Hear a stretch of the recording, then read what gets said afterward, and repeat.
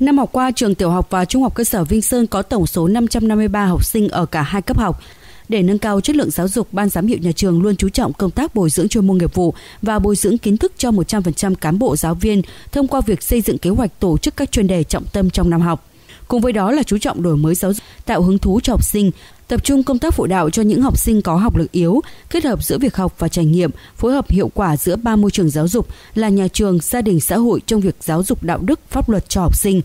Nhờ đó mà chất lượng dạy và học trong năm học qua của trường tiểu học và trung học cơ sở Vinh Sơn có nhiều chuyển biến rõ nét. Ở bậc trung học cơ sở, tỷ lệ học sinh giỏi đạt 12,3%, học sinh khá đạt 48%, vừa gần 20% so với chỉ tiêu đề ra. Không còn học sinh yếu, 100% đỗ tốt nghiệp trung học cơ sở. Ở bậc tiểu học, 99,7% học sinh hoàn thành chương trình lớp học, 100% học sinh hoàn thành chương trình cấp học